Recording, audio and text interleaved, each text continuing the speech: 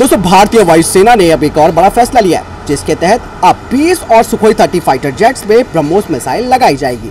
क्योंकि भारतीय वायुसेना ब्रह्मोस मिसाइल के प्रदर्शन से काफ़ी खुश है इसके एयर लॉन्च वर्जन को लेकर, जिसे कि सुखोई थर्टी एम पर लगाया गया है। और यही दोस्तों, इस दो दशमलव पाँच टन वजनी ब्रह्मोस मिसाइल को सुखोई थर्टी एम के जैसे फाइटर जेट्स में भी लगाना इतना आसान काम नहीं है। जिसके लिए जो हमारी एच है, उसने सुखोई थर्टी एम के जो फ्यूजलेज है, उसे और मज़बूत किया है, ताकि वो ढाई टन वजनी इस ब्रह्मोस मिसाइल को अपने साथ ले जा सके। इसके अलावा 800 किलोमीटर रेंज वाली ब्रह्मोस पर भी डीआरडीओ काम कर रहा है, जो कि एक लॉन्ग रेंज स्टैंड वेपन होगा, जिससे कि भारतीय वायुसेना की मारक क्षमता भी काफ़ी बढ़ेगी। इसके अलावा दोस्तों डीआरडीओ ये कर रहा है कि ब्रह्मोस एनजी को तैयार कर रहा है, जो कि एक दशमलव पाँच टन वजनी होगी।